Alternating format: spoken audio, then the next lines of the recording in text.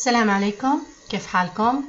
كيف أموركم مع الصيام؟ إن شاء الله تكون الأمور تمام التمام معكم. اليوم أو هذا الأسبوع آه، راح أخلص لكم وحدة الاستهلاك. نجمع المواضيع مع بعضها. إحنا بمادة آه، آه، وحدة الاستهلاك. أخذنا فيها ملاحظات كثير أخذنا كيف نكتب دالة الاستهلاك ومنها اشتقينا دالة الادخار. أخذنا بعديها كيف نرسم الاستهلاك وكيف نرسم الادخار وعرفنا شو يعني الميل الحدي للاستهلاك وعرفنا شو يعني الميل الحدي للادخار وعرفنا شو يعني الاستهلاك الذاتي عم براجعك وعرفنا شو يعني الاستهلاك الذاتي.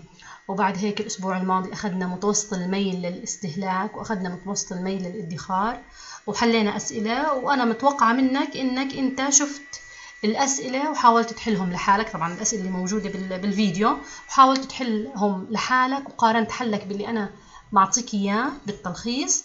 ولازم حتى تكون فاهم يكون حلك صح.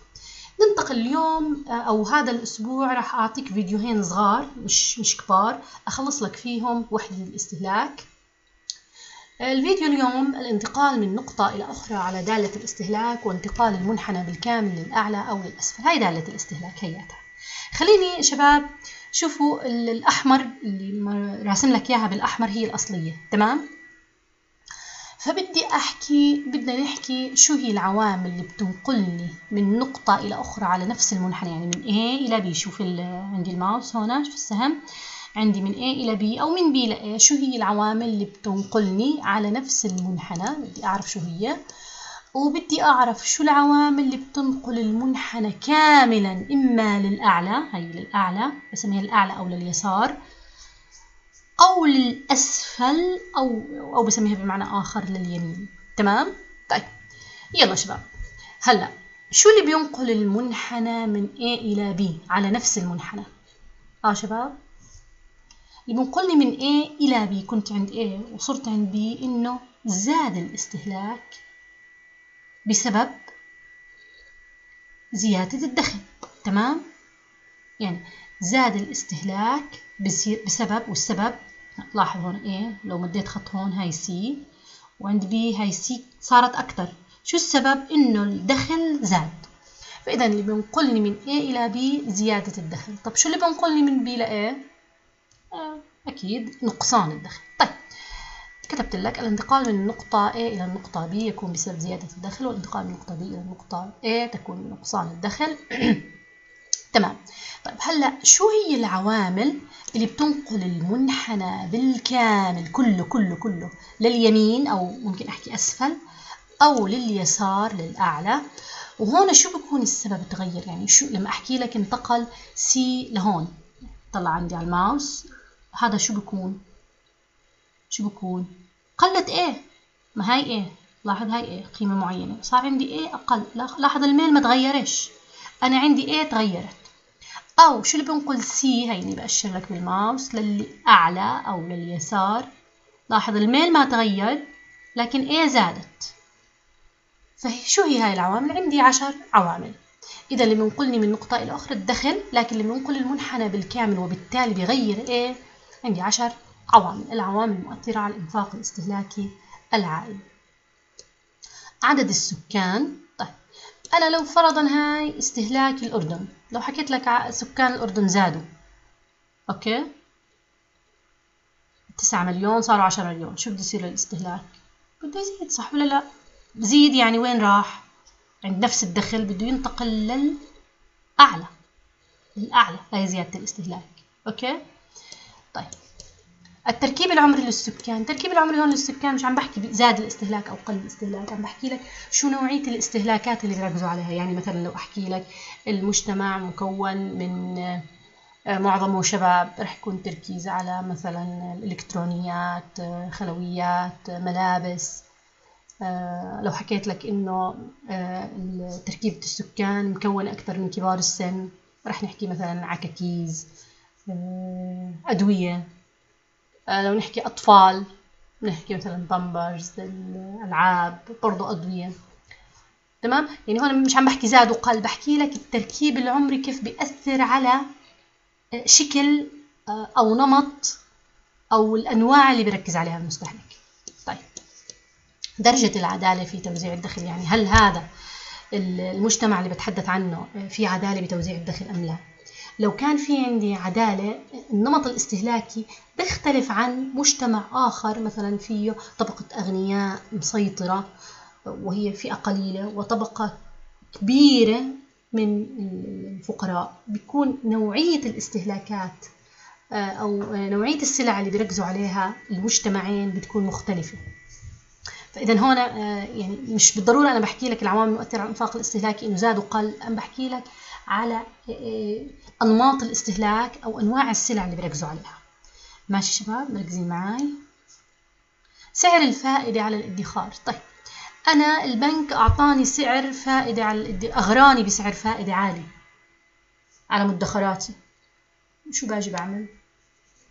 بصير بدخر أكثر بدخر أكثر وبالتالي أنا لما أدخر أكثر شو بيصير استهلاكي؟ بده يقل صحيح ولا لا؟ إذا سعر الفائدة على الادخار بزيد الفائدة على بزيد الادخار وبالتالي بقل استهلاكي درجة المديونية علي دين أو الأردن مديونة يعني بحكي عن فرد أو بحكي عن مجتمع في درجة دين كبيرة شو بصير لإستهلاكي؟ المفروض يعني نظريا المفروض يقل. طبعا إحنا دائما لما ندرس الأشياء بندرس نظريا. يمكن واحد مشنشل ديون وعادي بيستهلك ما عندوش مشكلة. بس أنا بحكي الأشياء نظريا. درجة الدين يعني كل ما كانت علي مديونية أعلى أو كان على المجتمع مديونية أعلى المفروض الاستهلاك يقل. حجم الأصول السائله شو يعني اصول سائلة؟ يعني كاش. يعني معي كاش. مش أنا مجمده فلوسي بعقارات ببنايات. okay؟ آه فإذا أنا عندي سيولة بصير أستهلك أكثر okay بس لو أنا غنية بس أنا ما عندي سيولة كله مجمد فلوسي مجمدة. استهلاكي بده يقل فكل ما كانت السيولة أعلى كل ما كان الاستهلاك أكثر توقعات بالنسبة للأسعار والدخل. مثلا أنا متوقعة زي زي اللي صار حاليا بأزمة كورونا. متوقعة إنه الأسعار ترتفع. شو بصير لإستهلاكي الحالي؟ بروح بشتري. بمون بعبي المطبخ بعبي شغلات كتير. طبعا آه، فالتوقع إنه السعر رح يعلى بخلي الناس تستهلك حاليا أكثر يعني تشتري أكثر أوكي استهلاكي يعني مش بالضرورة إني آكله يعني ممكن أخبيه. استهلاك يعني خلص مجرد إني أنا إنفاق استهلاكي. اشتريت هذا اسمه إنفاق استهلاكي بغض النظر يعني آه، استخدمته ولا لا. وبرضه الدخل لو أنا توقعت إنه آه، دخلي راح يرتفع. ببحبح حالي بشتري بكرم حالي. ولو العكس لو العكس لو أنا توقعت الأسعار رح تنخفض توقعت إنه رح يصير سيلز على شغلة معينة بأجل شرائها بقل استهلاكي. ولو توقعت إنه ما رح يجددوا لي عقدي بالجامعة يحكوا لي باي شو باجي بعمل؟ ببدأ شوي شوي أقلل استهلاكي. تمام؟ الضرائب والإعانات. طيب. هلا شباب أنا كل ما كانت علي ضريبة أكثر ضريبة الدخل. استهلاكي أكيد بده يقل والإعانة لو الحكومة أعطتني إعانة أعطتني دعم. مثلا الإعانات مختلفة زي صندوق المعونة. الإعانات بتزيد على الاستهلاك. فهذول مفعولهم عكس بعض. العادات والتقاليد يعني أنماط الاستهلاك بتختلف من مجتمع لآخر من بلد لبلد. حتى بالبلد نفسه بتختلف. لما نيجي نحكي عن عادات أهل الشمال تختلف عن عادات أهل الوسط تختلف عن عادات أهل الجنوب بالاستهلاك بالأنماط الاستهلاكية. حتى بنفس المدينة الواحدة تلاقي مختلف مختلف العادات والتقاليد بالاستهلاك. حتى بالعيلة الواحدة. يعني أنتوا استهلاككم مثلا عيلتك أنت ممكن تختلف عن عيلة دار عمك. استهلاككم يختلف. الأنماط الاستهلاكية أو الأشياء اللي بتركزوا عليها تختلف. أوكي؟ ظاهرة المحاكاة والتقليد شو يعني محاكاة والتقليد؟ يعني ظهرت شغلة موضة هيك. بتصير كل الناس تشتري زيها. ظهر خلوي جديد. صاحبك اشترى خلوي جديد. بتروح يعني بتقلده بتروح تشتري زيه. ظاهرة المحاكاة والتقليد بتأثر على الاستهلاك. فإذا هذول العشرة بيأثروا على الاستهلاك بينقلوا لليمين أو لليسار أو أو زي ما حكيت لك مش بالضرورة زيادة أو يعني نمط الاستهلاك يقل. بينما من A ل B أو من B ل A شو حكينا شباب؟ تغير الدخل. طيب شوفوا شباب ركزوا معي إذا هلأ صرت حاكي لك من A إلى B أو من B إلى A يعني بنفس بمعنى آخر على نفس المنحنى شو بيصير. وإذا انتقل المنحنى بالكامل لليمين ولليسار شو بكون السبب؟ طيب ضل عندي لو عملت كالتالي.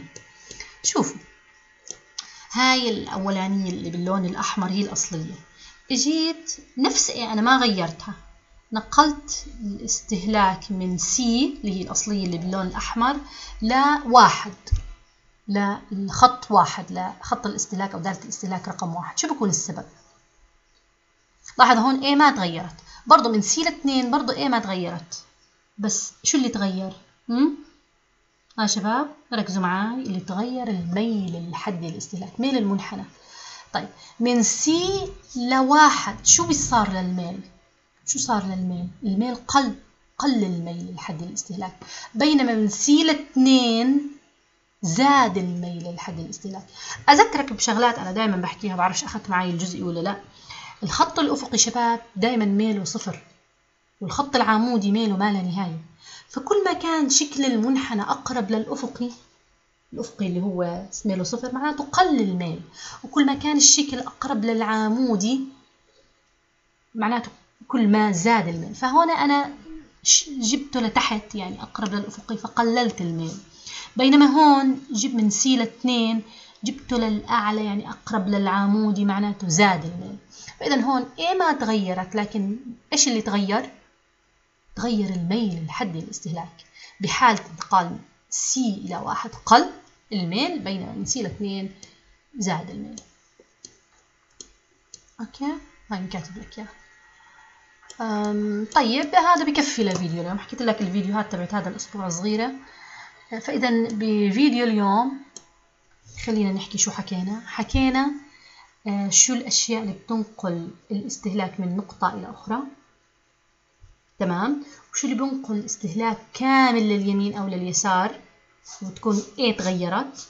وشو الأشياء اللي بتغير الميل؟ الميل يعني شو شو إذا تغير آه، الميل لحد الاستهلاك شو بصير المنحنى؟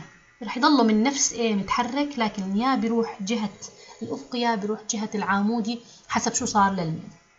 يعني زي كأني حكيت لك ثلاث تغييرات اليوم من نقطة إلى أخرى.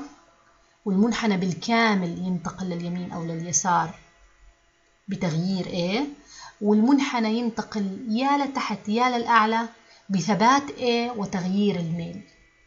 طيب شباب إذا هذا الفيديو انتهى. الفيديو اللي بعديه راح أحكي لك التغييرات اللي بتحدث بالإدخار. تمام؟ يلا. هلا بنشوفكم بالفيديو الثاني. يعطيكم العافية.